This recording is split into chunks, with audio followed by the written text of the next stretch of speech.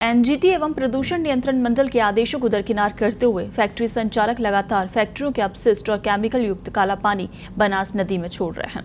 गौरतलब है कि हाल ही में हुई बारिश के बाद मातृकुंडिया बाँध से बनास नदी में पानी छोड़ा गया था, जिसके बाद जिला मुख्यालय पर संचालित टेक्सटाइल फैक्ट्रियों की ओर से काला पानी बनास नदी में छोड़ दिया गया। और ये केमिकल युक्त काला पानी जिला मुख्यालय से 35 किलोमीटर दूर सोलंकियों का खेड़ा रेड गेंदलिया गाँव तक पहुँच चुका है।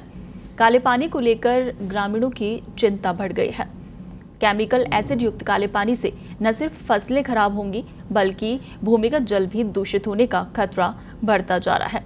तो काले पानी से लोगों में गंभीर बीमारियाँ, जैसे चर्म रोग, खुजली दांत जैसी गंभीर बीमारियाँ पनपने का डर भी सताने लगा है।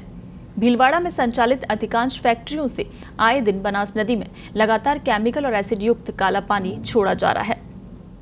और ये काला पानी मानव जीवन के लिए भी खतरा बन सकता है।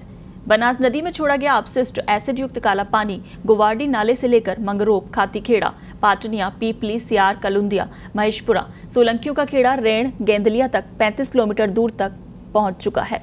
हालात ये है कि ऐसा लगता है कि बनास नदी में काला पानी ही बह रहा है। ग्रामीणों ने बताया कि प्रशासन की अनदेखी के चलते बनास नदी में आए दिन काला पानी छोड़ा जा रहा है, लेकिन दोषियों के खिलाफ कोई कार्रवाई नहीं की जा रही। यदि इसी तरह से बनास नदी में काला पानी छोड़ा जाता रहा तो मानव और पशु पक्षियों के स्वास्थ्य पर दुष्प्रभाव के साथ ही फ़सलें भी जहरीली हो सकती है।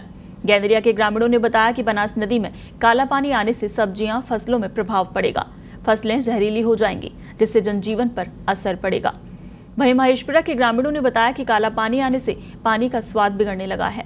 काले पानी से लोगों के जीवन पर सीधा असर पड़ेगा।